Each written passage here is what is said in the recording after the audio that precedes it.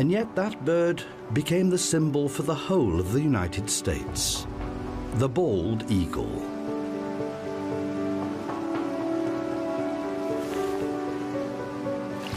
Nowhere are there as many of